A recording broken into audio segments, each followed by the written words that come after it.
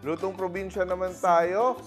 Straightforward, meaty, and very satisfying. Bagis from Tarlac. Let's start cooking.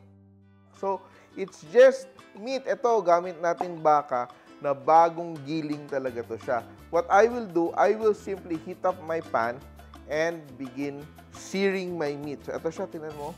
Ang ganda ng aking ah, baka dahil pinagiling ko talaga to sa palengke.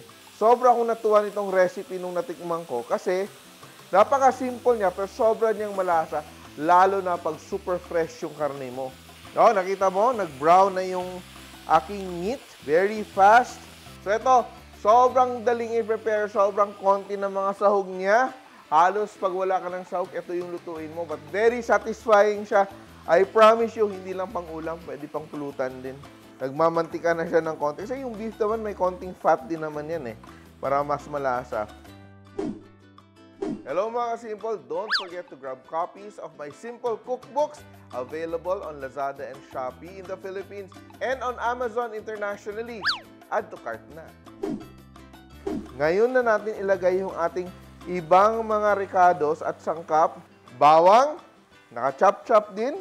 Sibuyas, siling pang sigang, pwede ding labuyo. Halo-halo. Konting asin. Lagyan natin ng konting toyo, pang kulay, black pepper, and to finish, kalamansi o suka, pang paasim, pang tanggal ng lansa kung meron man. At tapos na yung ating recipe. Super dali, so, super bilis lang, di ba? Sa isang idlap, naluto na lahat. Kaya sobrang dali ng ating recipe. Tikman nga natin kung pasado ba. Super meaty siya at mariremind ka ng lasa ng kilawin, di ba? Taste of meat, then maasim-asim, then may kick ng spiciness, super perfecto as ulam or even pulutan. Kaya try this at home.